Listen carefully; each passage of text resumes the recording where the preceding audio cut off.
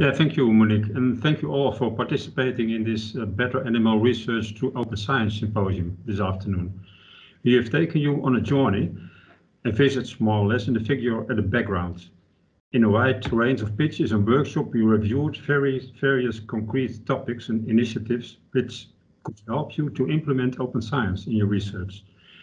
You could say there is was a journal a journey through the different steps in a research trajectory.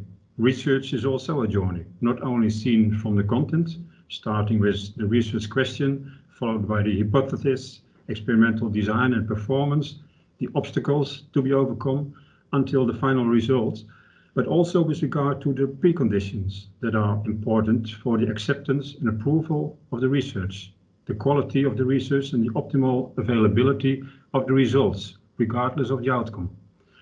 All these points have been addressed this afternoon. Frank Miedema, in his talk at the beginning of this afternoon, stated that animal experiments was slow with regard to the implementation of open science. And I agree with him. But let's hope that that's, this type of, of symposia could help to accelerate a little bit the implementation of open science in ex animal experimentation. How will open science for animal studies look like in future? I hope uh, and expect that taking seriously the issues raised this afternoon in the near future that in the near future there will be more openness to the public about conducting animal experiments.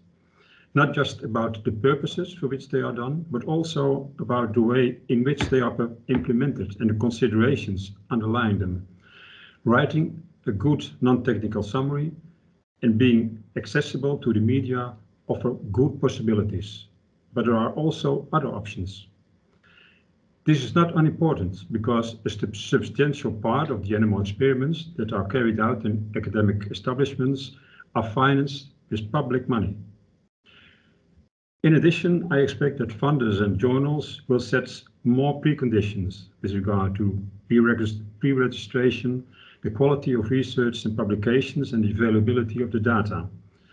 In this respect, also there is a responsibility for the establishments that employ and train people that are involved in animal studies. Sharing is a central issue in open science. Sharing information, sources and materials. Sharing your research data and results with colleagues, even if the results are negative or neutral, and sharing materials make the research more valuable. I hope that the social and scientific added value that open science entails will become an intrinsic motivation for researchers and other parties involved in research with lab animals to apply the principles of open science wherever possible in the various steps of the research. Open science should also receive more and more explicit attention in education at all stages, in curricular education as well as in postgraduate education. Yes, indeed. Pre-registration, making information available in repositories, publishing or making otherwise available of negative data, sharing tissue in animals, paying attention to providing information to the public, and so on, will take more time and efforts. But don't forget that it may also benefit yourself and also the scientific world and the funders, for example. Nevertheless, we must recognize that there is still a big challenge here.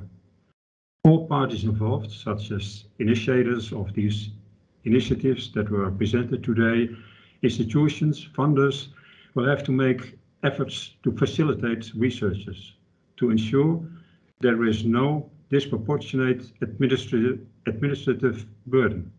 There should be positive incentives in place to publish open access and negative results, for example, there should be good IT tools that support pre-registration and the exchange of materials. I was very glad to hear, for instance, that, that uh, uh, uh, pays very much attention to the possible to, to the possibilities for researchers to facilitate all these things. There will not be one solution for every theme. Further input of researchers is very much needed to make clear how they can be facilitated further. Well, Let's work together to add value to research through open science and let us together develop ideas, smart solutions that help ensure that open science is not only experienced as an extra burden, but that it becomes a natural dimension of performing animal studies. To conclude with, many thanks to all who, present, who presented a pitch and who organized a workshop. And also many thanks to all the people that con contributed otherwise to the webinar. A special thanks to Monique, to Sid, Samantha, Judith, and Siggo. You have put together a wonderful program. To all participants, thank you very much for joining us in the journey. Hope you enjoy this and I hope you take home good ideas and useful information. And to conclude with, if you do have additional questions, comments or ideas on specific topics, please contact the presenters of the pitches or the workshop facilitators. But of course, you always can contact the Animal Welfare Body in Utrecht. Thank you very much. Back to you, Monique.